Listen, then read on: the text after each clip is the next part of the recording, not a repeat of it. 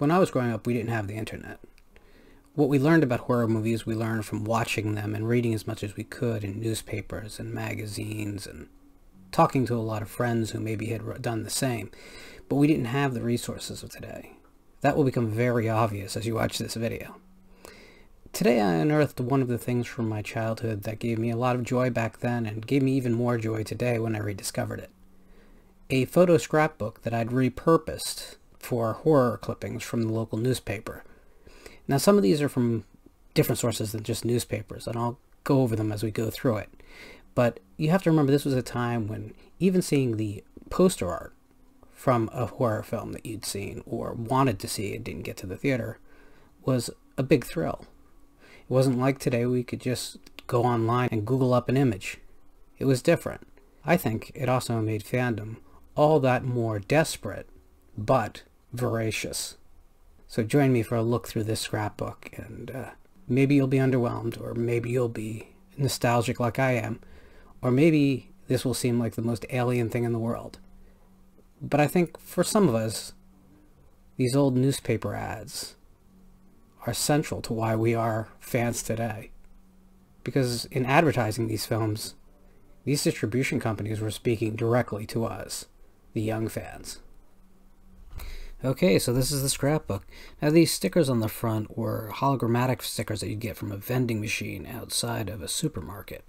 I tried to get as many as I could, but they only lasted the machine for about six months. So there's Nightmares, The Gate, Return of the Living Dead Part 2, Monkey Shines, Nightmare on Elm Street, another Monkey Shines. You didn't get to choose which stickers you got. Another Return of the Living Dead, uh, a generic Pinhead,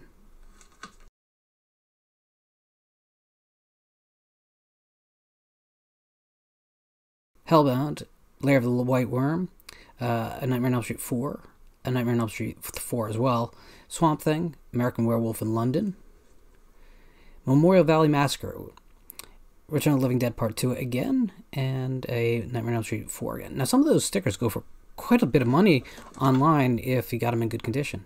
There's the New Beginning uh, clip art.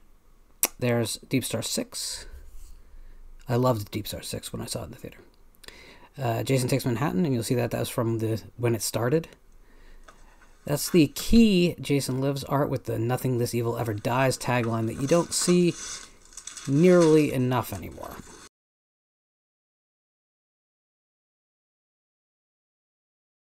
And there's the New Blood. Uh, a small little Kindred ad, as well as a double feature for the Route 35 flea, uh, drive-in. Uh, now there's the Kindred, a movie that's still not on any digital form. 976 Evil.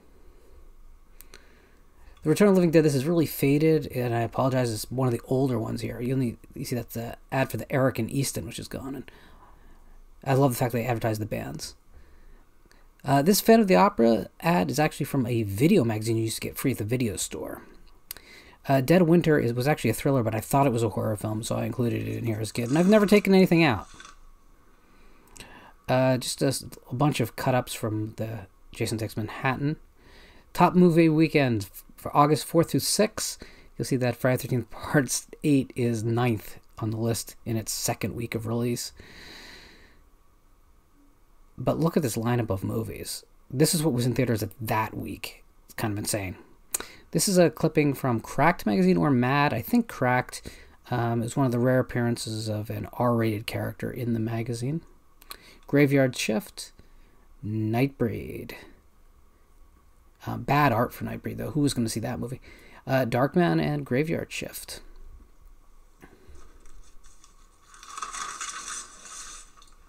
And this page fell apart as I opened it. Nightmare on Elm Street 3 Dream Warriors, Nightmare on Elm Street 5 Dream Child, and 4 Dream Master. We have Child's Play 2, Tales from the Dark Side the movie, Wes Craven's Shocker, Tremors. So this was that was like the 1990s page. Jaws: The Revenge. This time it's personal. Again at the Eric East in Easton, and class of 1999, which played for about a week before it got pulled.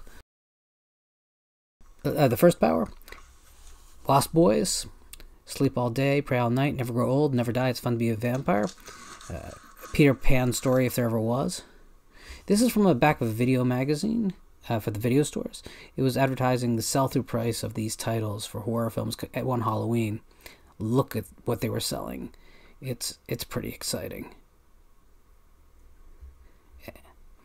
And having the scanner as ad central is just awesome. Flatliners and The Unholy, a really underrated film that has a good video release, but people don't talk about it. Ben Cross is really good in it. Return of the Living Dead Part 2, Exorcist 3. Um, Exorcist 3 didn't have nearly the advertising campaign it should have had. It's a tremendous film. This is the original review from the Easton uh, newspaper uh, for Texas Chainsaw Massacre Part 2.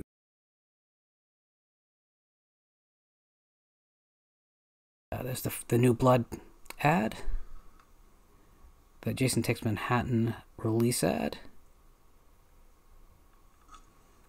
Alien Nation, and again, Jason Takes Manhattan.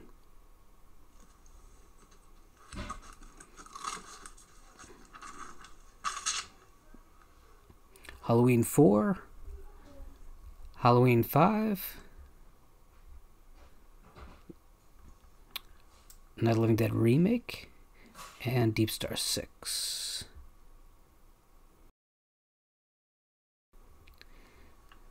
Beetlejuice.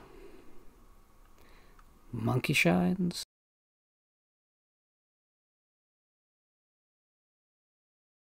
Critters 2. Mick Garris's finest hour. And a big video ad for Deep Star 6. Save Your Last Breath to Scream. Coming to video stores June 8th, which was a really quick turnaround from its theatrical.